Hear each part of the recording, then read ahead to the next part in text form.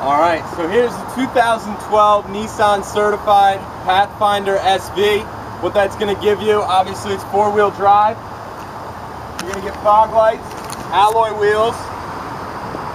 You're also going to have a power driver seat. You're going to have a backup camera, which you can see is pretty large. You're going to be able to switch to four-wheel drive right on the fly. There's your traction control. Dual climate control as well.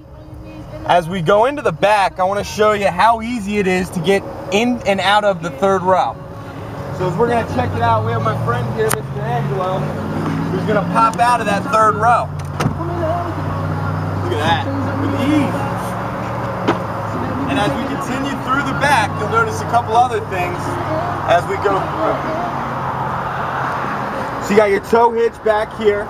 Again, your third row, which you can fold up or down which will give you more cargo space.